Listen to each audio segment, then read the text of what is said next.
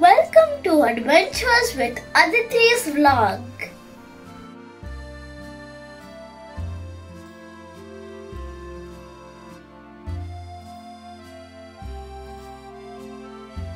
Today we are making a dates cake.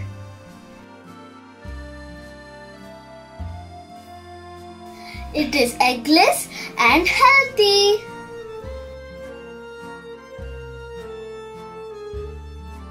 Take 250 grams of chopped seedless dates. Boil 200 ml milk.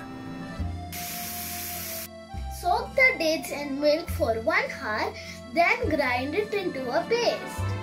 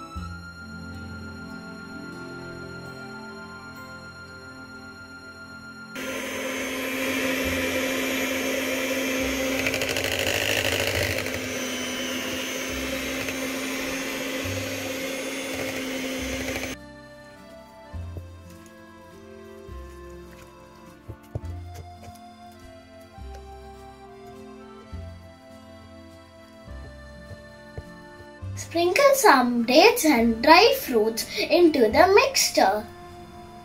Like this. Swift some butter and flour into the container before putting the mixture.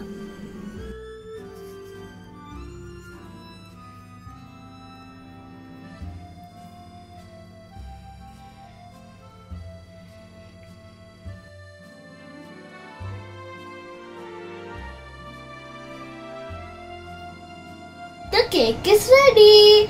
After it cools down, it's time to eat.